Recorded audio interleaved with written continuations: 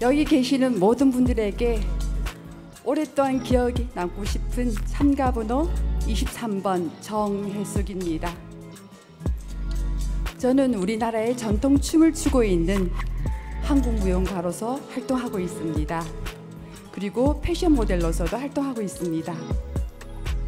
나이 들어감을 모든 분들에게서 익어가는 것이라고들 말씀해 주십니다. 그래서 저는 삶의 아름다운 가치를 도준에 두고자 합니다.